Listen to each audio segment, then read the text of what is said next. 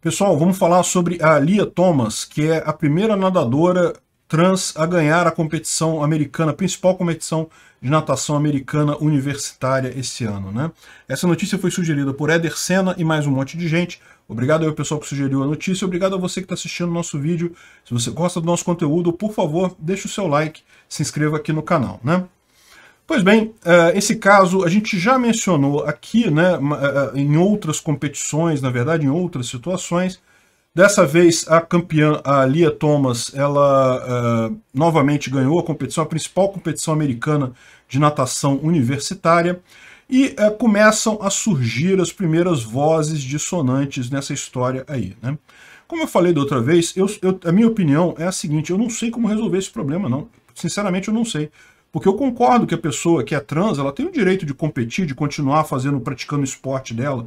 Né? É, é, é, ela não pode ser punida por ser trans. Né? Por outro lado, é inegável que pessoas que foram homens que receberam testosterona têm uma vantagem enorme no esporte. Né? É, é, por esse motivo que existem competições femininas e masculinas. Senão, podia ser uma competição só, né? se não houvesse vantagem da testosterona. E o que acontece é que, é, é, eu não sou especialista nisso, mas o que dizem muitos especialistas é que, é, mesmo a testosterona meramente atuando no útero, enquanto você está na gravidez ainda, então antes da pessoa nascer, ela já modifica o seu corpo, já torna os seus ossos mais densos, o músculo mais forte, coisa e tal, e lógico, quando chega a puberdade, você tem uma injeção de testosterona, todo homem passa por isso, e uh, uma injeção, digamos, natural de testosterona, né?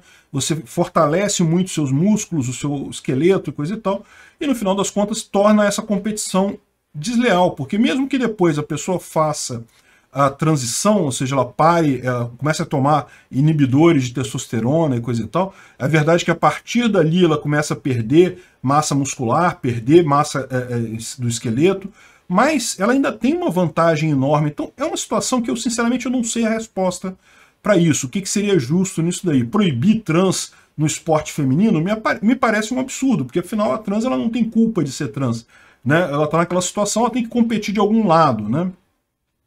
Enfim, é, o fato que está acontecendo é, num primeiro momento, uh, uh, houve uma união muito grande, ninguém queria criticar ela por conta disso, mas a verdade é que o que está acontecendo é que ela está dominando totalmente o, uh, o esporte feminino americano, a natação americana, e com isso começam a surgir as primeiras vozes criticando. Né? Por exemplo, a menina que ficou, por exemplo, né, na foto do pódio, você pode ver que o segundo, terceiro e quarto lugar se juntaram aqui, que são todas mulheres de nascimento, se juntaram para a foto, e uh, ela ficou aqui separada dessa turma, ficou mais isolada ali.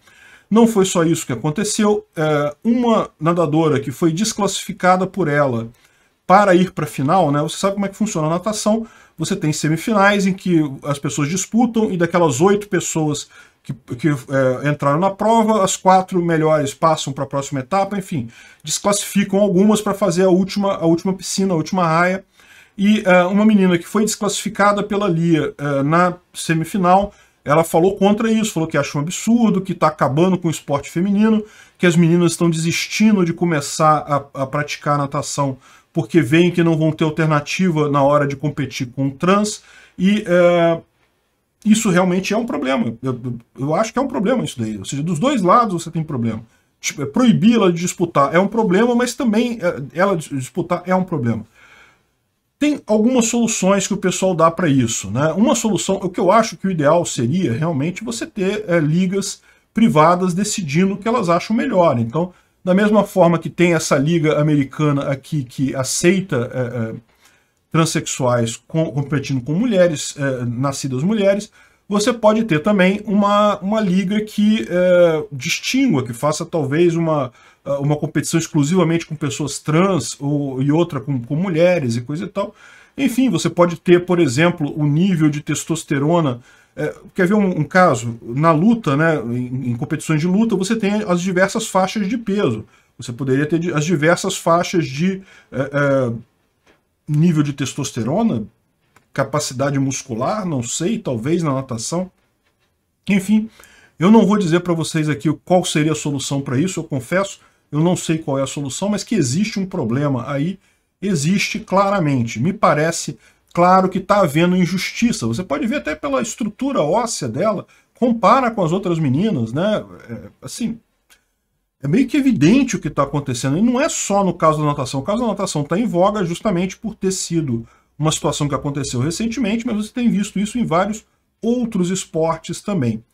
Então, é um, é um, problema isso. É sinceramente um problema. Eu acho que o mercado pode resolver isso, você ter várias ligas com regras diferentes, e aí cada um se associa à liga que achar melhor de acordo com a regra melhor.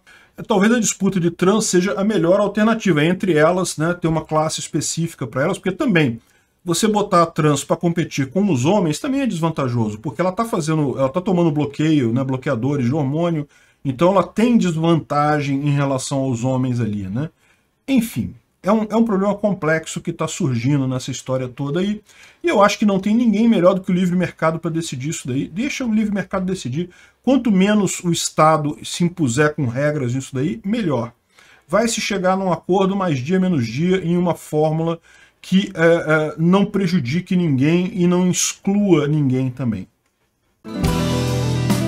Obrigado por assistir o vídeo até o final. Além de curtir, compartilhar e se inscrever no canal, considere se tornar patrocinador com valores a partir de R$ 1,99. Clique no botão Seja Membro abaixo para saber as condições e vantagens de patrocinar o canal. Mais informações sobre o nosso projeto, visite nossos sites indicados na tela.